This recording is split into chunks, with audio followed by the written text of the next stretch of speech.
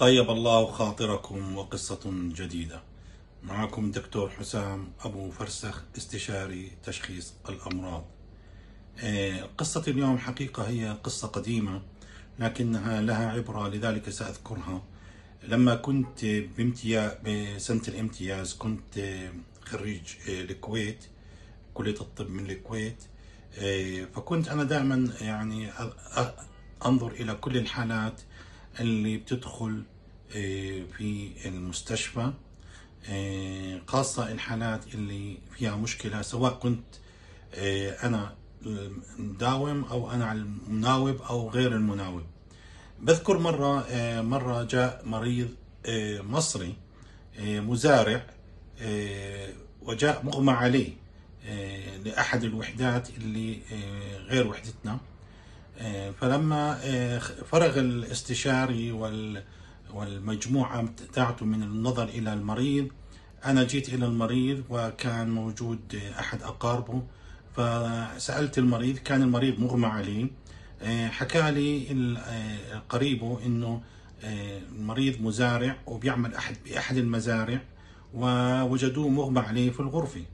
ففحصت المريض أكثر ما لفت انتباهي وأكثر ما حقيقة آه، بحثت عنه هو آه، بؤبؤ العين بؤبؤ العين.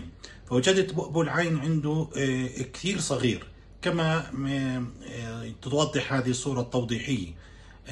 فتكلمت مع الدكتور المستشار المسؤول الوحدة وحكيت له أنا حقيقة شاكك أنه هذا المريض كونه أنه مزارع كونه بؤبؤ العين بنسميه بالإنجليزي pinpoint pupil بشك أنه يكون عنده organophosphorus toxicity يعني من المسممات الحشرات آه، إذا زادت عن حدها قد تؤثر على الإنسان وتؤدي إلى إغماء وتؤدي إلى إنه بؤبة العين تكون صغيرة. آه، حقيقة المستشار أخذ كلامي نوعا ما بجدية لكن بنفس الوقت آه، ما استطاع إنه يثبت ذلك فلكنه بناء على كلامي آه، راح آه، بدل المريض بالعلاج المناسب أعطاه أتروبين يعني هذا جزء من العلاج وسوى له آه، غسيل للمعدة. فالمريض الحمد لله يعني تحسن كثيرا. بعد طبعا ما ودوه على العنايه المركزه بعد يومين تحسنوا كثيرا. ونزل الرئيس الوحدي حقيقة يشكرني على هذا التشخيص الذي حقيقة نجيت فيه هذا المريض المزارع من الموت المحقق.